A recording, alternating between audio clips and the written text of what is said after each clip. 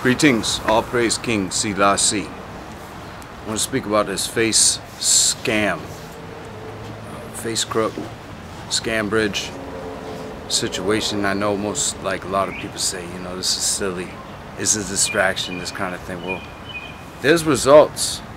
You know, this is what they call a case law. And so they bring these cases before the court. The court has a ruling and that becomes a policy. And this particular agenda is to allocate authority to the machine known as AI, the Antichrist, the second beast in Revelation 13 called artificial intelligence. If you don't see it, you're blind. And this is man's design. It's the pinnacle of idolatry and all the energy over time, even from the war, wars, this is the outcome. And so, this thing is intercepting all information and classifying all things and this database is accessed by some individuals. And much of it is to do work that man does not have the capability of doing because it would take too much manpower. And the people within these communities uh, hold secrets that uh, to expose their knowledge would affect uh, their agenda. If uh, average people knew how their information is used uh, exactly in the same way that these folks did do, um, then they wouldn't give their information away. So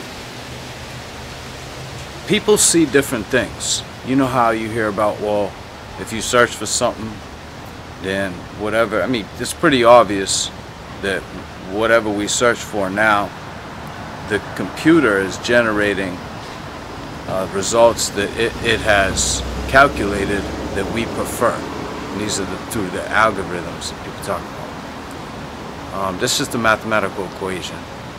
It's a dumb word. It sounds stupid people start to learn it and they think they're smart. but th this machine is making these judgments. And in doing so, it is producing the content that so-called you would prefer. Well, let me think about this. You know, there's something called input to output mapping.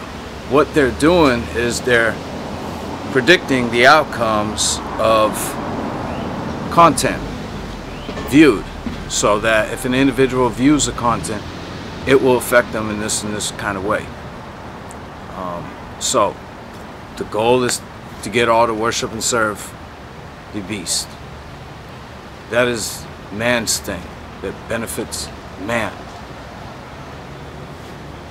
And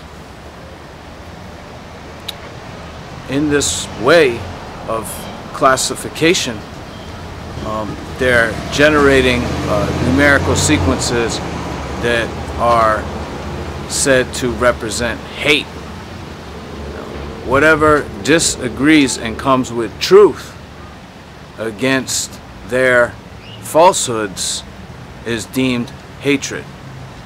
And in this way, the machine allocates that piece of material to the side. You get thrown away. Nobody sees your videos except for the police. And the police don't up your views when they watch them because they have the backdoor access. Just like the police that's watching this video right now.